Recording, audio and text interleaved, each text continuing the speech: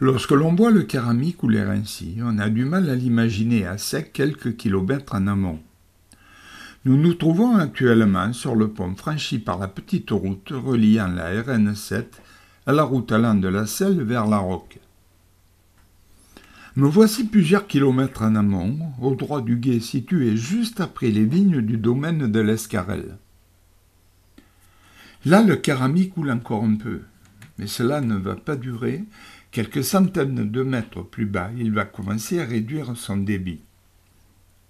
Au début, cela va se traduire par de grandes mares alimentées par de timides filets d'eau.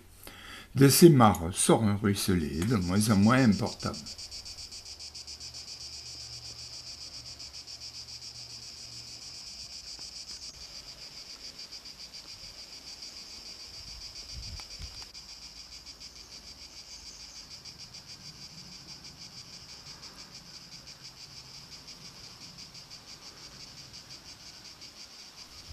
Nous voici quelques centaines de mètres en aval.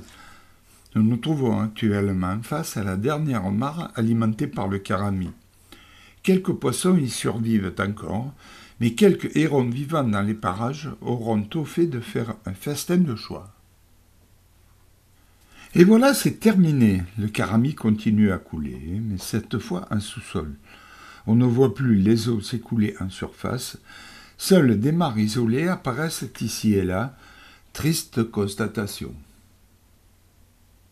C'est terminé, le lit de la rivière est complètement à sec.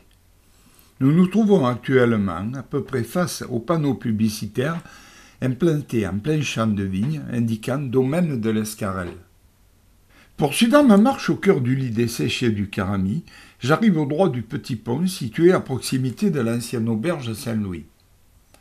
On distingue sur ces roches le niveau habituel de la rivière, cela me rappelle d'agréables souvenirs, cette zone regorgée de truites, à l'époque où les mines de bauxite, implantées sur le territoire de la commune de Mazog, rejetaient leurs eaux dans le Carami.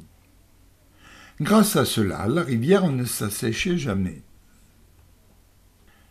Après avoir marché plusieurs kilomètres dans le lit asséché de la rivière, j'arrive au droit du petit pont permettant de relier le domaine de la Gaillole à la RN 7.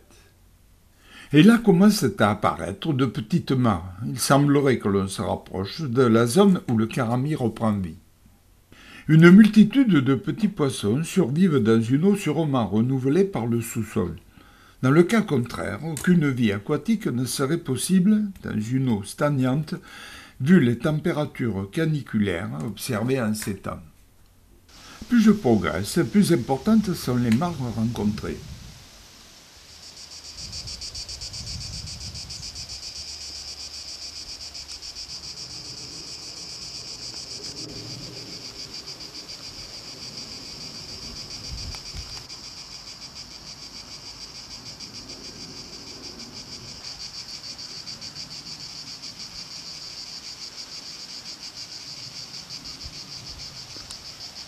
Ces magnifiques papillons me laissent supposer une possible issue finale.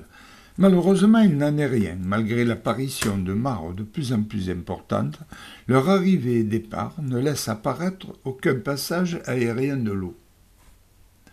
Je poursuis mes recherches de l'eau courante.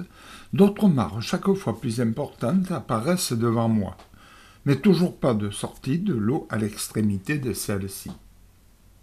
Ouf j'ai enfin trouvé l'extrémité de cette zone où le carami coule en sous-sol. Le lit asséché de la rivière a disparu sous une eau courante claire et limpide. Il est vrai que le filtre était de bonne qualité.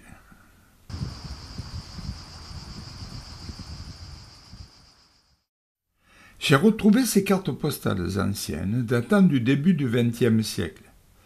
Je vous les laisse regarder et m'abstiendrai de tout commentaire.